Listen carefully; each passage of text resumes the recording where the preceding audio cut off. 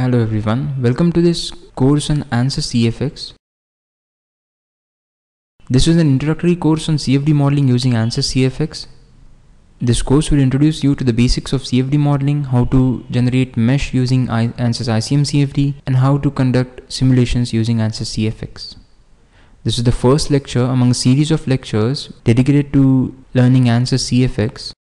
In this particular course, we will study ANSYS CFX graphic user interface, and workflow in order to conduct simulation within ANSYS CFX.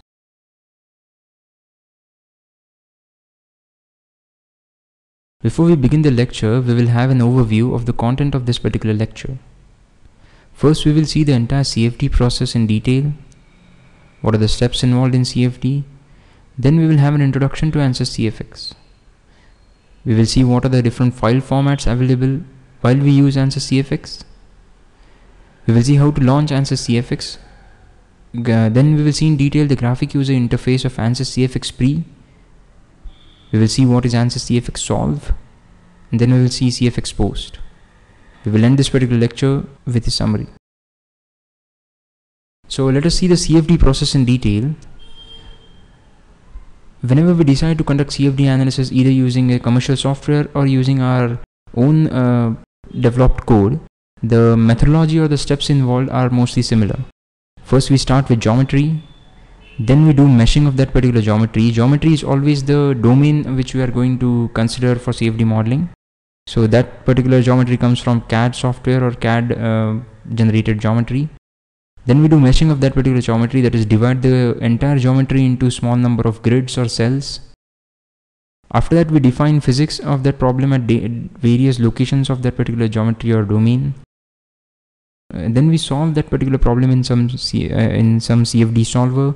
In this particular case, it, it is ANSYS CFX. And then we analyze the results that we obtain from solver. Any CFD problem that you do or any CFD simulation that you do, it will basically involve all these five steps. We start with geometry, mesh, then we mesh, then we define the problem in terms of physics, then we solve the numerical uh, problem and then we analyze the results mostly the geometry that is coming in is coming from a CAD software or a CFD preprocessor and then we import this particular geometry into a meshing software. We will see here how we conduct meshing when we use ANSYS CFX. So the uh, first step whenever we start a CFD analysis is meshing. So what we do is first we create or import the geometry.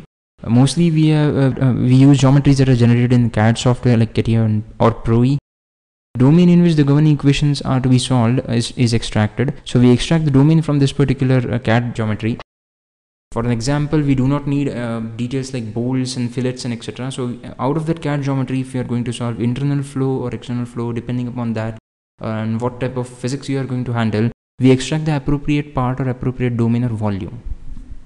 Then mesh is generated in that particular domain or volume as shown here, an example of mesh that is generated process of uh, generating finite volumes or elements or dividing that particular geometry or domain or volume into grids is called as mesh generation.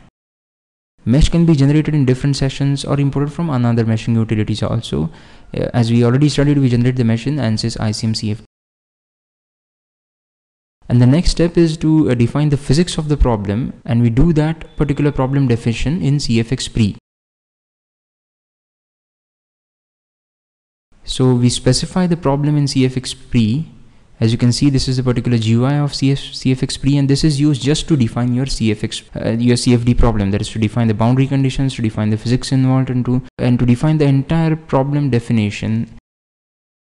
In, in CFX pre, you do not solve the problem; you just define the problem. So we define different physical models, material properties, and boundary conditions in CFX pre. Next step is to use CFX solver in order to solve in order to numerically solve and obtain the solution of the problem. So we solve the governing equations in CFX solver flow equations.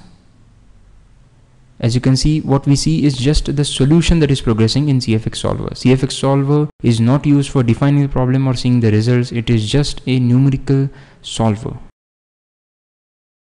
We use iterative, iterative solution procedure to solve the governing equations and we obtain the convergence in CFX solver the last step is to analyze the CFX, CFD results and that we do in CFX post or CFD post.